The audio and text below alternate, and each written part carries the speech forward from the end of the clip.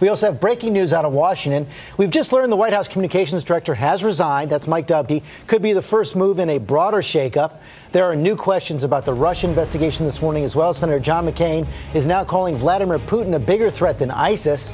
And President Trump appearing to throw his full support behind Jared Kushner, who is now under investigation for trying to set up that back channel to communicate with Russia. A lot is going on. And our senior White House correspondent, Cecilia Vega, starts us off with all the latest from the White House. Good morning, Cecilia. George, good morning to you. As you said, Mike Dubke's resignation was expected after just three months on the job. This could be part of a larger communications shakeup to come. You know, President Trump came home from that trip abroad to a political crisis on his hand. White House aides here have been huddled over the weekend in full damage control mode.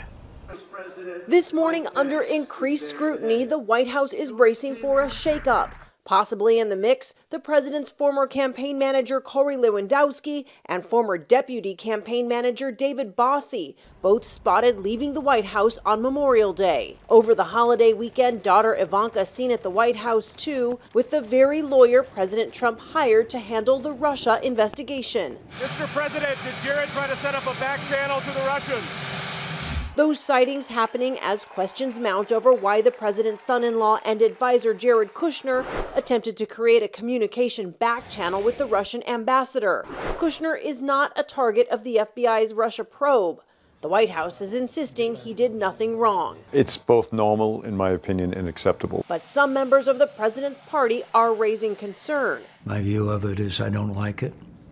I, I just don't, I don't, I know that some administration officials are saying, well, that's standard procedure. I don't think it's standard procedure. The president tweeting this morning saying Russian officials must be laughing at the U.S. and how a lame excuse for why the Dems lost the election has taken over the fake news. But some in the president's inner circle say it might be time for Kushner to take a leave of absence. In public, the president sticking to the script giving his first remarks since returning from overseas, honoring fallen troops and their families on Memorial Day. It is because of families like yours that all of our families can live in safety and live in peace. Now, with all of these questions mounting, there's been talk here at the White House about the administration holding fewer press briefings. Sean Spicer does hold one today, George. It will be his first on camera press briefing in 15 days.